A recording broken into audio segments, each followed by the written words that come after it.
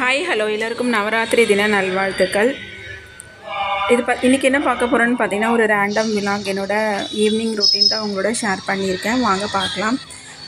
பார்த்தீங்கன்னா ஒரு ஃபோர் ஓ கிளாக் எல்லாமே பார்த்தீங்கன்னா வீடெல்லாம் க்ளீன் பண்ணலான்னு சொல்லிட்டு க்ளீன் பண்ணிகிட்ருக்கேன் வீடு எல்லாமே பார்த்தீங்கன்னா பசங்க லீவுன்றதுனால ஃபுல்லாக எல்லாத்தையும் எடுத்து போட்டு பயங்கரமாக விளையாடி அங்கங்கே போட்டு வச்சுருக்காங்க. அதை எடுத்து க்ளீன் பண்ணுறதுக்கே பார்த்தீங்கன்னா ஒரு ஆஃப் அன் ஹவருக்கு மேலே ஆகிடுச்சு எல்லாமே க்ளீன் பண்ணிகிட்ருக்கேன் க்ளீன் பண்ணதுக்கப்புறம் பார்த்தீங்கன்னா ஈவினிங் பிரேக்ஃபாஸ்ட் ரெடி பண்ண அப்படியே பார்த்தீங்கன்னா கோயிலுக்கு போகலான்னு சொல்லிட்டு இன்றைக்கி நவராத்திரி இல்லைங்களா? கோயிலுக்கு போகலான்னு சொல்லிட்டு சீக்கிரமாகவே பார்த்தீங்கன்னா ஈவினிங் நைட்டு டிஃபனும் ரெடி பண்ணிட்டு போயிடலாம் அப்படின்னு சொல்லிட்டு சட்னி அரைச்சி வச்சுட்டோம்னா வந்ததே தோசை சுட்டு கூட சாப்பிட்டுக்கலாம். அதனால் வந்து பார்த்திங்கன்னா சட்னி முன்னாடியே அரைச்சி வச்சிட்ருக்கேன் ஏன்னா வந்து பார்த்திங்கன்னா வந்ததே வந்து நம்ம கொஞ்சம் அப்படியே டயர்டாகிடும் ரெஸ்ட் எடுக்கலாம். அதனால் முன்னாடியே ரெடி பண்ணி வச்சுட்டு போயிட்டோம்னா வந்ததே கொஞ்சம் ஃப்ரீயாக இருக்கலாம்.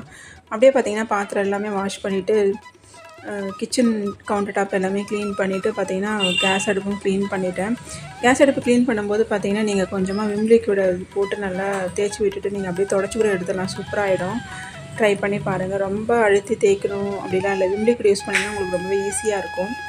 இன்னொன்று பார்த்தீங்கன்னா பால் காய்ச்சும் போது நீங்கள் பால் ஊற்றிட்டு அதுக்கப்புறமா நீங்கள் வந்து தண்ணி ஊற்றுனீங்கன்னா உங்களுக்கு பாத்திரம் தேய்க்க ரொம்ப கஷ்டமாக இருக்கும். ஃபஸ்ட்டு நீங்கள் தண்ணி ஊற்றிட்டு அதுக்கப்புறமா பால் ஊற்றி காய்ச்சுங்க. உங்களுக்கு க்ளீன் பண்ணும்போது ஈஸியாக இருக்கும்.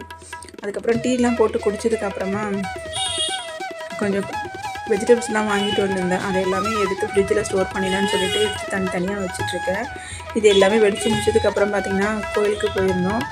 அங்கே பார்த்திங்கன்னா கொலு சூப்பராக இருந்துச்சு. அம்மனோட தரிசனம் சூப்பராக கிடச்சிது. அதுக்கப்புறமா கோயிலுக்கு சாமி போய் கும்பிட்டுட்டு வீட்டுக்கு வந்துட்டோம்.